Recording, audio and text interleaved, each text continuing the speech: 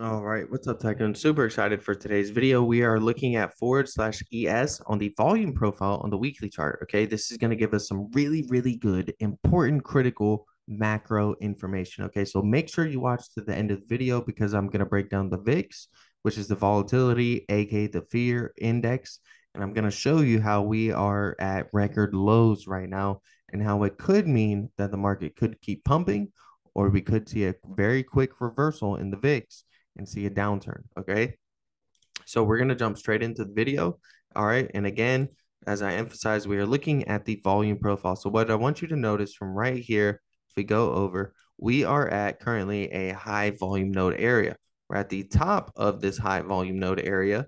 So it's a very, very important pivot point. Okay. We are either going to pivot from high volume node to high volume node to the upside or high volume node to high volume node to the downside. This is exactly the pivot point. Okay. So if you're unsure whether to go bearish in the market and short stuff for the next three months, whether you're unsure to go bullish and long stuff for the next three months, this video is going to be important and very critical. And it's really going to break down everything for you and hopefully teach you something. Okay. So what I want to know is that we move from high volume node to high volume node. All right. And that is what I am emphasizing. Okay. We have a volume gap here. All right. Volume gaps are where uh, price tends to quickly move through, right? Price is going to move quickly through a volume gap to an area with high volume nodes. Okay. So when we were down here at these critical levels, okay, um, I was looking to see are we going to drop quickly down into the 3200 range or are we going to recover and come back up to this area here? All right. Now we hit that 3,500 range, 3,800 range right in between here. And we have now progressed to the next high volume node right here. Again, I want to point out how critical it is. We are at the top of that high volume node. So price is either going to move very quickly. Okay. We're going to look at it again. Price is either going to move very quickly. All right. To the upside into this area right here. Okay and that would be the 4500 target range roughly all right? Or we are going to move back down into the 4000 range here within the next month.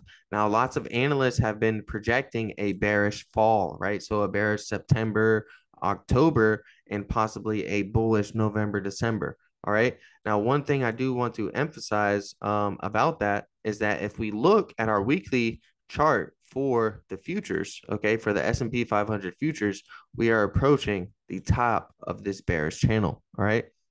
We have been respecting this bearish channel, okay, bouncing off the lows, all right, and getting rejected at the highs, all right? So, you know, I do think that the current stock market has a little bit more room to run up. There's so much bullish sentiment, right, with between the uh, Fed rates, okay, and also the CPI data, all right. We have PPI coming out tomorrow. It's going to be very critical, but it's it's very hard to tell, right? Are we going to push up towards this level here? And if we do, are we going to break out? Because if we get the breakout, okay, above our our resistance level here, right around 42, 4300, we are going to move up towards that 4500 high volume node that I explained to you guys, okay, over here in this area. All right.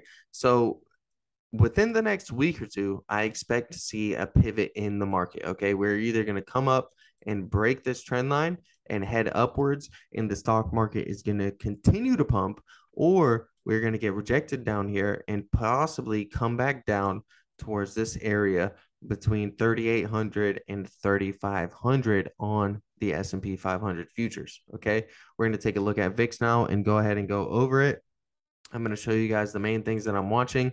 All right. If we look at the most recent chart that I showed you guys, it's been making lower lows um, on the price action, but higher lows on the RSI. That's what's known as bullish divergence. We negated all of that bullish divergence today. Okay. So, um, again, if we look at the chart on the VIX, we had this very nice trend line.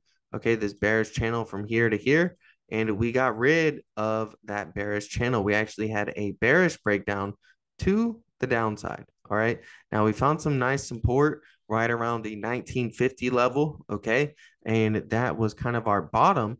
But VIX below 20.50 is historically a neutral market, right? And if you look historically, the stock market has been super bullish. So an average or neutral bull market um is, is again in the stock market, right? For the S&P 500 is normally bullish. So the average market normally goes up, right? We're in those lows right now. Now, the main thing I have to point out is that I wouldn't go long in the market currently, okay? Because ever since we had quantitative tightening, these have been our main levels, all right?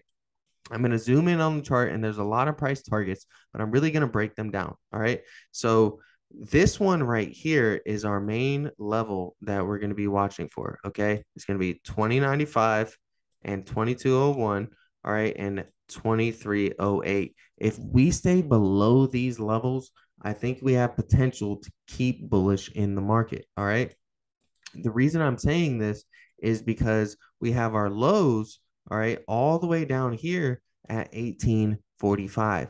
This is where previously within the last year, VIX has bottomed out at. Okay, so there's still plenty of bullish upside, right? We see clearly that we got the rejection right around 2095 today. We came lower, okay, and VIX gave us a clear signal with the rejection up there that volatility was going to drop, okay? Now, does this mean the stock market is going to continue to rally? Possibly. But what you have to look at is we're at the bottom Bollinger Band, and typically price action moves from the bottom Bollinger Band up to the middle Bollinger Band. Okay. So if you see a pullback within the market here soon, don't be surprised. Okay. That's the main thing that I'm saying. But overall, we're still very bullish, right? I would say below this level here at about 23, 28, okay, is is where I think the market can still go bullish. But if we break that level, all right, we could start seeing the eventual pullback, right? But we know that our recent lows, okay, within this year have not been till 1845 on the VIX. So we may see something happen like this where it comes up, bounces off this middle Bollinger Band, gets rejected, and keeps heading lower, right? If you want to stay bullish in the market, that is your signal. Okay. You want to eh, get bullish positions on the market when we either get a rejection here at 2095 okay? Or when we get a rejection here on VIX at 2201, or when we get a rejection here on VIX at 2328. Those are your three levels to go bullish on the market, right? Right now is not a super time, super good time to go bullish on the market. A lot of the uh like you know, we'll we'll pull up SPY real quick, okay? And we'll go to the one hour chart. And I just want to show you guys that it is um it's it's it's essentially a little bit overbought. All right. Um, so we'll zoom in here. All right, and take a look at SPY and really break it down for you guys and go down to the one hour chart. Okay, and I want to look at uh, what drawing set do I have up?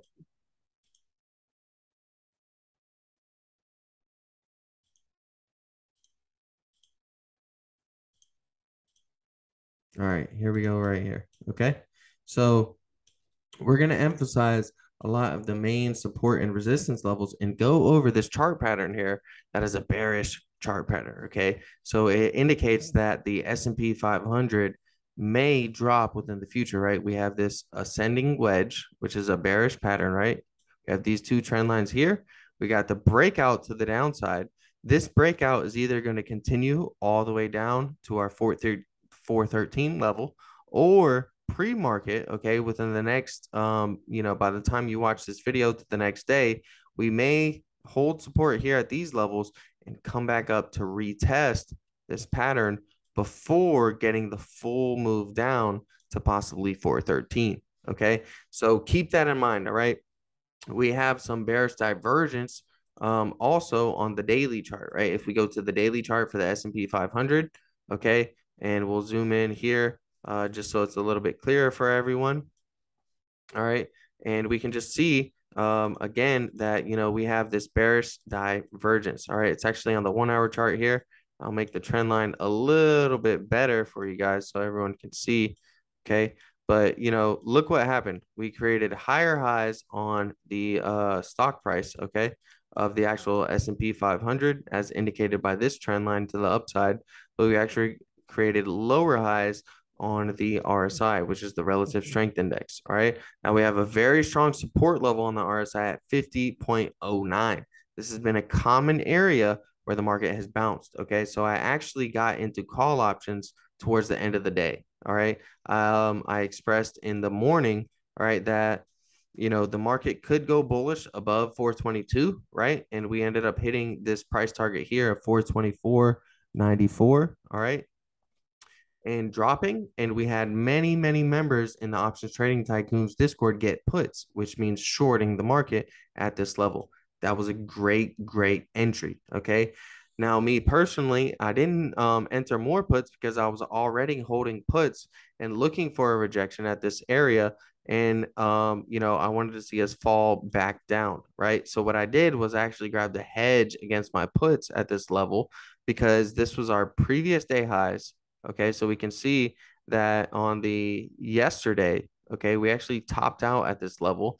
And to tell if you spy, right, the S&P 500 is going to continue a bullish uptrend, typically it's going to create a high and then a higher high, right? And you're going to have a pullback, but possibly that pullback is for a continuation to make new highs. All right. So um, even though I am bearish on the market because we have this descending wedge pattern, we have a nice one hour candlestick breakdown.